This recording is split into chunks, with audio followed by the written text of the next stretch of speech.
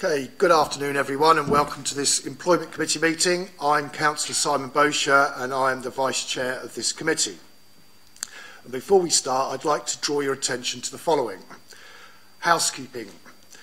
If the continuous fire alarm sounds, please evacuate the room in the public gallery by the stairwells. Do not attempt to use the lifts. Please assemble by Queen Victoria statue in the Guildhall Square. In order to comply with the Guildhall Trust Fire Marshal regulations, if you've signed into the Guildhall, please remember to sign out when you leave the building after today's meeting. May I draw everyone's attention to the fact that this meeting will be live streamed and that the camera zooms in to show the speaker. This is linked to the microphones, therefore can I please remind all attendees to turn their microphones on to speak and then off again once you have finished speaking. Members of the public are permitted to record the meeting on the understanding that it neither disrupts the meeting nor records those stating explicitly that they do not wish to be recorded. Please be advised that the public seating area is not in view of the camera used to webcast this meeting. Don't appear to have too many members of the public here. Okay, item one, apologies for absence. Uh, I've received apologies from Councillor Cal Corkery. And declarations of interest, item two. Do any members have any interest to declare in respect of the items being considered before this meeting? Councillor Vernon Jackson. Can I go back one item? Cal's name isn't on the membership of the committee on the front here. Why? I will now look at Democratic Services on that one. Um, he lost his uh, seat on the committee when um, he uh, lost his um, membership of the group, Labour group. Councillor Shah is here as a standing deputy, although not um, for the chair of the committee. Okay, so if Cal's not a member of the committee, we can't have apologies from him. Well, anyway, okay. Fine. Okay. Thanks. Apologies if I'm perhaps um, causing a fuss over nothing, but um, if he's not a member of the committee, he can't have a standing deputy either, can he? Um, I, I, he's, uh, Councillor Shah is not a standing deputy um, for the chair of the committee, but he is a, a, a representative of the Labour group on the committee. Uh, I think I think until proportionality is dealt with, it's effectively still a Labour Party seat on this particular committee. And although Councillor Corkery is no longer a member of the Labour Party, Councillor Shah is, in my opinion, quite reasonably allowed to be here at this meeting taking that Labour seat. I don't think we're going to have too much of a political punch-up with the items on the agenda, if I'm honest. Okay, but before we go any further, I think it's probably appropriate that we just go around the room for those that uh, we, we don't know and if they could just introduce themselves. As I said, I'm Councillor Simon Bosher, I'm the Vice Chair of this committee, and if I look to my left and work my way around that way. Karen Martin, Democratic Services. Councillor Shah, uh, Standing Deputy for Labour in the committee. Natasha Edmonds, Director of Corporate Services. Rochelle Williams, Assistant Director of Human Resources. Sue Page, Finance. Darren Sanders, one of the Liberal Democrat members of the committee. Gerald Vernon Jackson, one of the councillors. Councillor Matt Atkins, one of the members of the committee. And Dave Ashmore, one of the councillors. David Williams, Chief Executive. Not for much longer. I, I, I, was wondering whether the chief executive had to declare an interest as we're discussing the chief executive at this meeting, but hey ho. Um, sure I think you're, you're discussing the vacant post of the chief executive. Oh, he's gone already. Okay, we move on to uh, item three, minutes of the meeting held on the 17th of November 2022. I will take people through them page by page. Please shout. Um, I'm looking at uh, big number page six or little number two. No. And page three.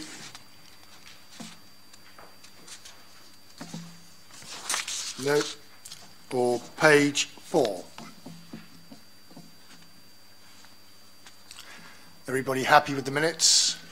Thank you. I will sign those off as a correct record. Moving on, we now are on item four. So is he looking through his page? And this is the appointment subcommittee and recruitment arrangements um, to consider obviously the chief executive's role and also the interim director of planning and regeneration. Gerald. But just before we before we go into the detail of it, I just think it would be right and proper for this committee. This is the first time we've met, or a committee has met since David has put in his resignation, and probably Tristan as well, to officially record our thanks to both of them uh, for the work that they've done um, over a number of years. David for a huge number of years. Um, and I just think it is right and proper that we say thank you and do it officially. More than happy. Happy with that. Thank you. Um, Natasha, I'm looking in your direction now. Perhaps you could introduce the report. Thank you, Chair. Um, the report sets out the arrangements for the uh, recruitment to the post of Chief Executive and Head of Paid Service. Um, these statutory roles are reserved for Council appointments. Council delegates that uh, process to the Employment Committee, and the Employment Committee are therefore, through this report, tasked with appointing a subcommittee to make that appointment and subsequent recommendations to full council. Um, it also deals with the, uh, the imminent uh, departure of our current Director of Regeneration and recommends the appointment of an interim, and that appointment be delegated to um, the Chief Executive pending uh, the recruitment of a permanent chief executive, uh, after which we will then proceed to permanent recruitment and a, and a further report would come to this committee about the arrangements for that recruitment. So it's asking for the, uh, to summarise, a, a, a, a creation of an appointment subcommittee for the chief executive recruitment and delegation to the chief exec to recruit an interim director of regeneration. Thank you. Thank you very much, Natasha. Uh, questions, members? Gerald. Well, um, uh, actually, I've got three suggested amendments, I'm sorry to say, um, uh, to the report or to the recommendations. Um, I think it's absolutely sensible that all group leaders are involved in this um, appointment for the new chief executive, and I think that's absolutely right and proper. I, the bit I worry about is saying that any other members have to come from the membership of this committee. Um, for instance, the deputy leader of the council is not a member of this committee, and and if this was happening now, I would want Susie as deputy leader of the council to be on that interviewing panel, but she wouldn't be able to with this wording. Um, so I, I would change the words and um, Instead of such members of the Employment Committee, it's such members of the Council as are required to ensure political uh, re, um, political um, proportionality. So it gives each group flexibility of who they put on the interview panel. Would be, would be my first suggestion. The ses my second suggestion um, is around the timing um, for the report coming back um, to us about a structure for the re for the regen bit. It says summer 2023 for a report to come back. Summer is a very flexible and long thing which can stretch into October. Um, I think if we got an interim coming in in April, they will they'll have recommendations to us pretty quick about what works. And I prefer to see something that says coming back in late May, early June, so that we've got something quicker in terms of being able to look at. Um, and it just might mean we spend less money on a, an interim. And the third thing, going back to the chief executive, is David is chief executive of Portsmouth, which is our responsibility, but he's also chief executive of Gosport. Now, Gosport can't be, people from Gosport can't be decision makers in who are who is the chief executive of Portsmouth. But if and, and it's their decision whether they want to carry on with the arrangement they currently have with Portsmouth. but I wondered if it would be sensible to look for a representative and presumably probably council leader in Gosport to be invited into both shortlisting and the interview panel, but not as a decision maker, because that has to be our decision. But but so that they know and meet the candidates, uh, that so they're more so they're more likely then to know if they want the that candidate to then do the Gosport job as well. I just think it it would build in the ability for that relationship to carry on in the future. Thanks, Gerald. Um, should we deal with those one by one? Um, I, I am of a similar mind when it comes to such members of the Employment Committee. Personally, I think it should be council-wide. Um, I don't know how many members are actually on this interview panel. I think it's usually about six or seven from, from memory. Um, but I think leader of the council, group leaders and opposition uh, of the opposition groups, leaders, uh, and such members of, as Gerald has suggested, the council, including, uh, we don't need the including standing deputies, as required to ensure proportional representation um, as nominated by respective group leaders. But just deal with that one in isolation first. I'm quite happy to second that because I think there's a big pool of talent there that we could pull in from. So perhaps we could just take that one in isolation, members, to start with. Everybody in favour of that? We do it from the council. I'm looking and Matt's nodding. So, right, okay, so we've got unanimous on that bit. And so I think also we need, there might be group leaders who just can't make it, and therefore if there's a group leader can't, then they need to be able to put somebody else on as well to have that flexibility. Um, yes. Simon, sorry, I, I had my hand up, so sorry. Um, I'm okay with the principle of this, and I think we do need to get the pull. Having gone through this process in my previous council, um, I know how difficult this is. So I think the first thing is to make sure anybody who does it um, knows about interviews and has experience of that, because we can't just have Uncle Tom Cobley coming along. Secondly, I, I may have misread it, but when are we looking to actually start the the interview process? When is the interviews actually going to happen? Natasha and Rochelle, there's a reason for this.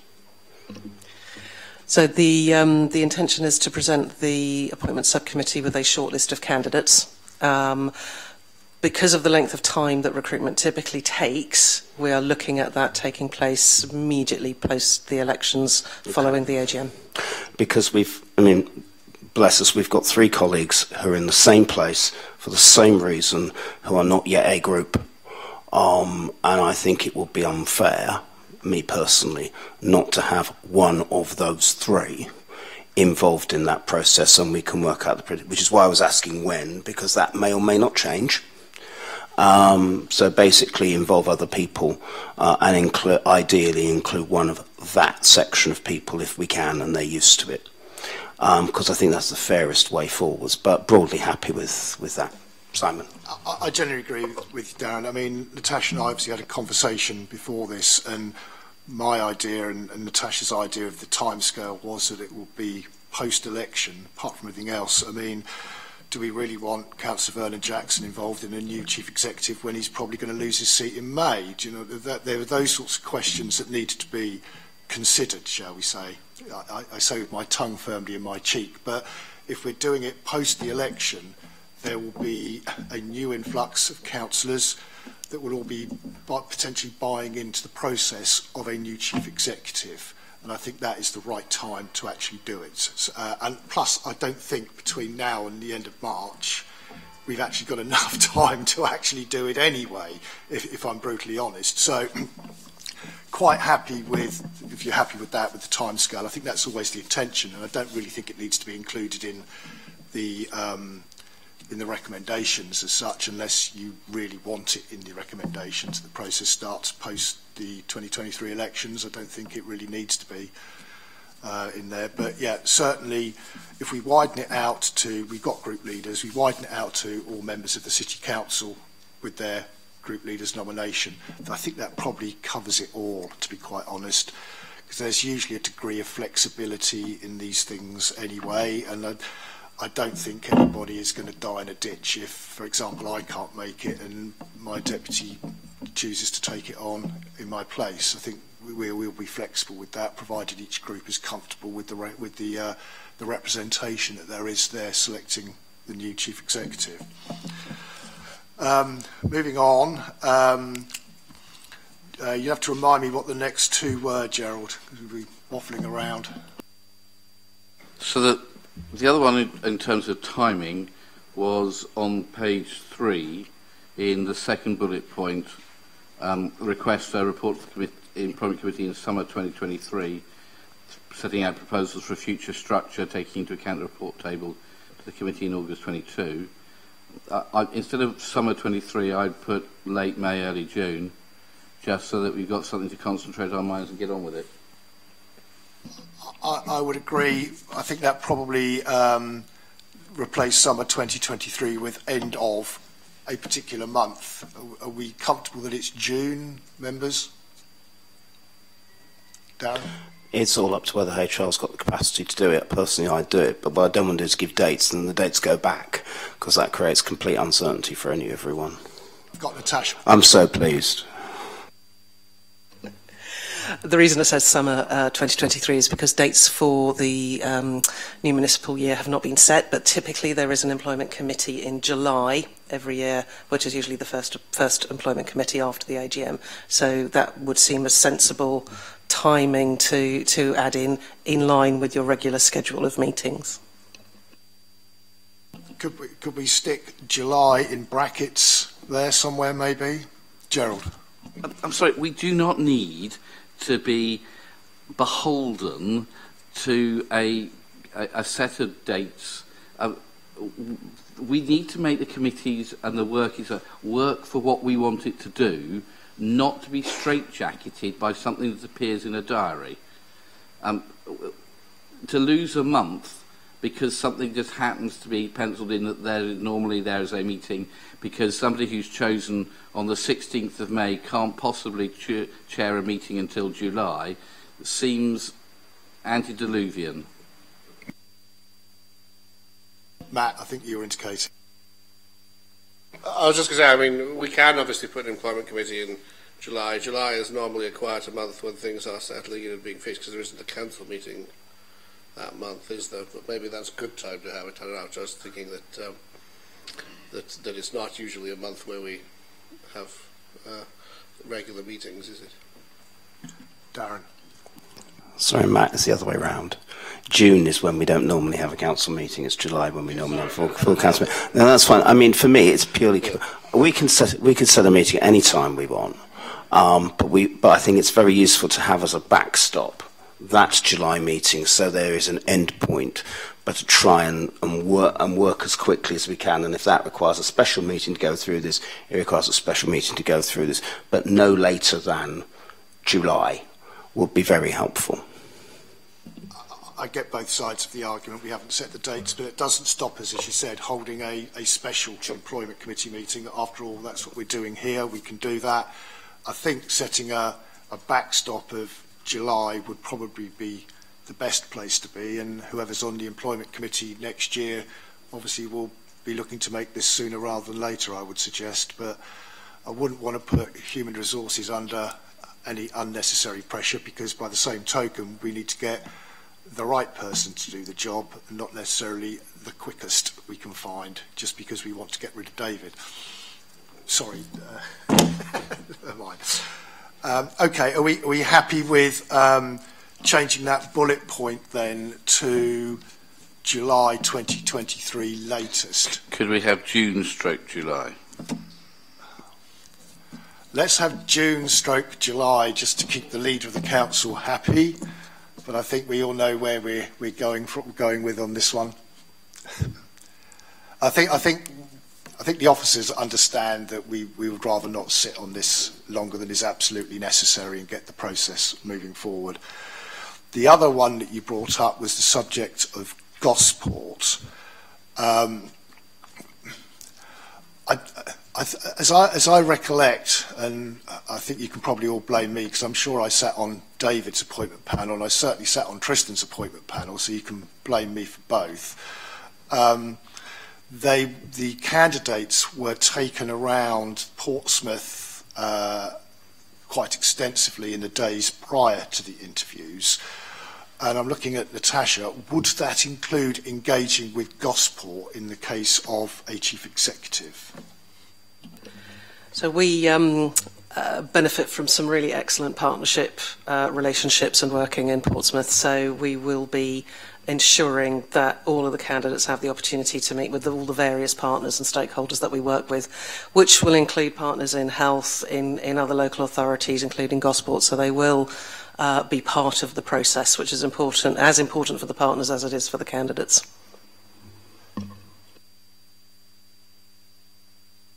Darren. Um, one on this and then one on another point. Um, I don't know whether David's job is basically going to be and chief executive of Gosport as well, or whether that's something we wait for Gosport to work out and what to do. If it is, that's fine. Um, the second bit is around the Director of Regeneration and the appointment of the interim. Um, I'm a bit uneasy about it just being an officer agreement without some form of democratic oversight. Now that can go through the group leaders, relevant representatives of this committee, something like that, not holding it up. But I think in normal circumstances there would be an appointment panel, there would be democratic oversight here. And I'm a little bit uneasy about appointing an interim without having some form of democratic oversight. So I believe the intention is to, to engage group leaders, but David, I don't know if you wanted to expand on that. Yeah, I think technically it's yeah. Uh, my, my approach to it would be to engage with the group leaders, certainly. Um, so where the actual decision, technically the decision lies probably with the chief executive, but that would only be after consultation, appropriate consultation with the group leaders, um, because this person is going to be, you know, working with you as the politicians. Um, so I think that's that's absolutely fine. If I can just pick up on the Gosport point as well. I think, I think it's important that we always remember that the two councils are sovereign individually. Um, and, uh, but, but we also need to be as clear as we possibly can be with potential candidates. Um, and I think it would be sensible to involve Gosport, a Gosport representative in the early deliberations and sight of the candidates and certainly involved in, in the you know in the in that process. But as Gerald said not in the decision making. Both councils have to make their individual decisions.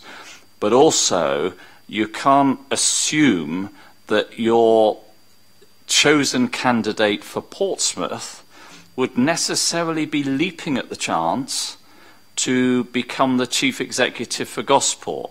So you, you know we've got we've got a Section 113 agreement between the two councils, um, but it, we've just got to manage this quite sensitively and quite carefully. I think it's important that that in seeking the appointment, Portsmouth conveys to the candidates from the earliest stage, so this will be important for the headhunters to understand this as well, that the council has an interest in perpetuating the relationship between the two councils. That may or may not include a singular or the same person being the chief executive of both councils. It, the, the, the system could operate on a slightly asymmetrical basis quite, quite effectively, I think. So, so I think we need to keep the options open. We need to make sure that the candidates understand that that relationship exists and it's something that we'd want to nurture. But we can't have the obligation on that candidate that they then pick up the reins for Gosport, A, because Gosport might not choose that, and B, because they might not choose it. And that's what I'm trying to, sorry Simon, that's what I'm trying to get at, David, is that it might be that our friends over the other side of the harbour may go, no, no, no, we're going to go our own way Um, and this is about appointing our chief executive, and it may require a quick chat early on, um, just to check and see, do you want this to continue, or do you want to review this, or anything like something like that? Because what I didn't want is us to impose our will on, as you say, a sovereign authority that we've chosen to have a relationship with. Yeah, and if I may, sorry, Simon. If I may, Chairman, I, I, you know, and I think that a period of reflection might not be a bad thing. You know, so Portsmouth go through with the process of appointing their preferred candidate. Gosport could make interim arrangements for a while and see whether or not they like the cut of the jib of your choice and then enter into a conversation with yourselves and with the can and with the successful Portsmouth chief executive to see if an arrangement could be agreed whereby that person would take on both roles. Yeah, they might say no. But you know, I think we've just got to be got to be ready for that. I think then the the words I would suggest would be something like the Gosport Council is invited to be part of the recruitment process in an informal and non-decision making manner. And I'll second that. No more questions? Okay, well, let, us put that one uh, to the committee then. Uh, I think Natasha's just scribbled down Gerald's words. Are we comfortable? I think Gosport need to be included in, in the loop anyway, and then they can make their own decision. I, I mean, that's the proposal. I'm quite happy to support that uh, informal process. Uh, members? Uh, Dave's nodding. Matt's indicating. Asghar, yeah, okay. So we'll, we'll include that in the wording just to make sure that we've got uh, Gosport sort of covered as part of the process, I think is probably what we're looking at. Okay, and the, the third one, which is something that I'm, I'm interested in as well, is the interim um, appointment for Tristan Samuel's replacement. Um, and I agree with, again, with what Gerald has said about the, we, we don't want to be potentially spending money for a long period of time. But I'm also minded that there's a couple of committee meetings ago, we we're exploring the possibility of splitting that role into one for regen and one for traffic and transportation. And I think there was um, an element attached to, because Tristan was still with us then, is what would the impact be from a contractual point of view on Tristan. It now strikes me that this is also an opportunity to see whether that principle of splitting it works from a structure point of view and look at the cost effectiveness into, into splitting one into two. Uh, again, I'm not, I'm not going to die in a ditch as to whether we go one direction or another because I think we've had both advantages and disadvantages with regards to putting the two roles into one and I think the peer review and traffic and transportation has, has sort of like teased a lot of that out. So I would like to see something that says that we actually explore that particular opportunity and that the employment committee will make a decision as to whether we think we do want to go down that route or whether we want to stay with the scenario as is. Now, I appreciate that might be putting a bit of pressure on the employment committee because that would require a quick decision. But I suspect that probably if we went down that report previously, then probably quite a lot of that work has probably already been done to a certain degree. So we could probably get in another employment committee quite quickly to say, this is where we want to go, or that's where we want to go, because it will certainly shape what HR needs to do going into next, uh, next municipal year as to whether we're looking for two people or just one person. I've got Gerald and then I've got Darren. I think that's an entirely sensible piece of work to be done. I think I'm kind of looking for the interim to provide effectively a piece of external consultancy to give us some of that advice. So I was going to wait until they come in in April to be here for a, a, a month or so because they they should then be able to give us a steer of what their thinking might be. And our thinking might be different, but if you're going to have somebody around as an external, effectively an expert coming in, um, I want to I want to get my money's worth out of them, um, and I want to drag everything out of the little grey cells that are there. So I my I, my sort of thinking of timescales was I was hoping we'd get the interim in before Tristan goes, so that there could be a handover of stuff between Tristan and, and the interim, and and then I'd want most people come to these conclusions pretty quick about what things should be. To have something from them quite quickly, it might be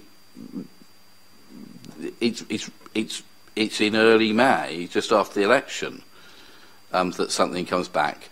But but but I think I would wait for their advice. We might choose not to take it, um, and there are lots of different ways of of of cutting things. And the report that we had in August 22, people will have changed and developed and moved into roles since then, and uh, and that they might things might be a bit different from then. I, I just I think I just if we're going to have these this interim in, I would try to want to get as much out of them as is humanly possible in terms of their advice. So I would wait for them to, to be in for a few weeks. I support what Gerald says um, because I think it's just great. But the other aspect is, I'd, I mean, I initially wanted to see an, a, a director of transport because I thought that was the answer to the question. The evidence, particular peer review, changed my mind.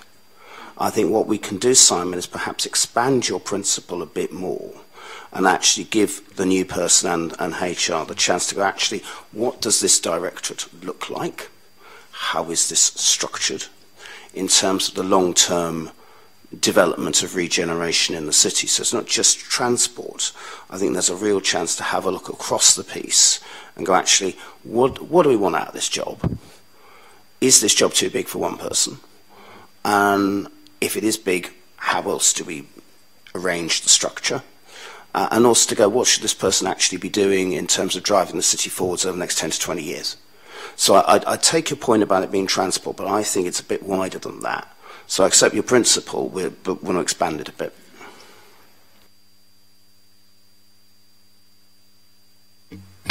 Yeah, I think that's very sensible. I, th- I think in terms of the selection of the interim director, somebody with the qualities to help us with that piece of work will be one of the considerations in terms of finding the appropriate person. I guess the only word of caution would be that if we rush them too much, we'll get their reflections from their last assignment, not from this assignment.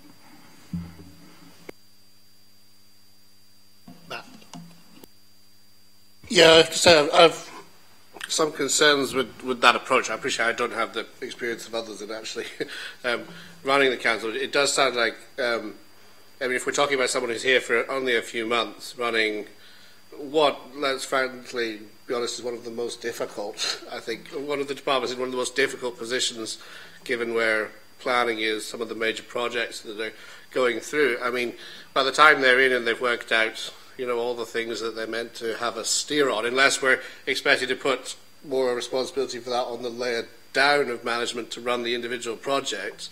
How, how is that person got a lot of time to, you know, assess and plan for the future for their replacement? I mean, maybe we get an interim who then turns into the permanent person, but there's by, no means a guarantee of that. So, I mean, um, I don't know if I think they sound like necessarily the best placed person to be able to do that. I, I think you have to think carefully. Do we want someone who's going to, you know, stabilise the ship while we and, and keep the projects going while we look for the next person, or is everything going to go on pause while we get someone in who's essentially just assessing the department for for restructuring? I mean, um, and if that's what we're doing, is it an interim director we want, or is it someone with expertise in kind of restructuring, or even a, you know our, our own internal decision about restructuring the department? I, I think what we're looking for to start with is a Me Too, so somebody to take on the role that Tristan Samuels is actually doing. Um, but my my view is is that we considered it. I didn't appreciate it was as long ago as August, but we certainly went through that process. uh, it strikes me as being an opportunity, whether the interim gets it or not, to do that piece of work again, which will have to come back to employment anyway, to say, let's actually have a look at it. Now, I don't mind whether it's the interim person comes in. I think there are positives and negatives behind that, as, as David said, reflection on a previous job or whatever. But I think it needs to be something that we need to consider as part of this process to appoint Tristan. Now, whether that needs to go down as, as a recommendation, because all we're doing is is delegating authority to appoint an interim director to the, to the chief executive, which is what we're doing, and the fact that David and Natasha have picked up our views that we've expressed here that says let's do that piece of work, whether we need to put down a recommendation putting that in writing to do that, or we basically say do that and we'll consider it at another employment committee as to whether we want to stick with what we've got or whether we want to split it into two. Does it need a recommendation to do that, or is the conversation here sufficient, Darren? I, the one thing I would add to the recommendation is delegate to chief executive in consultation with the group leaders because that gives us a, a certain and as part of that process there will be a chat around you know firstly he is he or she is is going to be a shop minder. I'm not expecting anything to go on pause frankly because we've got projects that we have to continue and we need to continue. So that's the first step. But also to use this opportunity to use whatever experience is necessary to go what does what does this future look like? Is this is this section too big for one person? If so what goes where? What other opportunities there are to look at regeneration? And i think that can also be done by the chief executive in consultation with the group leaders early on and then the, the, outcome comes back here Sorry, my apologies if the report wasn't clear, but the second bullet point is actually recommending exactly what you're just talking about, because it requests a report to the Employment Committee no later than June or July, setting out proposals for a future structure, taking account of the report tabled at the committee in August 22. So, so it is actually saying that the report that comes back will give you some views on, on what a future structure could look like I wish you'd said that 15 minutes ago, Natasha. it's like an awful lot of po political hot air then, wouldn't it? Okay, well, if, if members are comfortable that that bullet point does cover that, then really we're looking at the third bullet point um, with at the addition of in consultation with the group leaders to be added to that, which I think we've already undertaken. So uh, taking that bullet point there with the addition of in consultation with the group leaders, people are generally happy with that. I'm quite happy to propose that. I'm getting nods all round. Uh, Asghar, are you happy with that? He's happy with that. So with that change there, so I think we've now got the three changes. Uh, the risk of sitting here for another hour, is there anything else anybody wishes to raise at all in relation to this report? We've got a room full of quiet politicians. How wonderful is that? we could talk about the memorial that be erected to, to David Williams uh, and his time. is that at Lakeside, is it? Okay, members. Well, if there isn't anything else, I will call this particular meeting to a close. It is uh, nine minutes past four. Thank you very much indeed. Thank you.